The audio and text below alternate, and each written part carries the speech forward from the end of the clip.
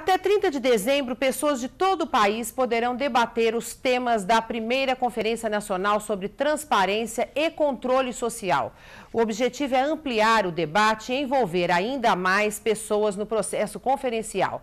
A Conferência de Controle Social foi criada para atender aos cidadãos que não se enquadram nos moldes tradicionais de processos participativos que vigoram no país. As conferências livres foram inauguradas na Conferência Nacional de Juventude em 2007.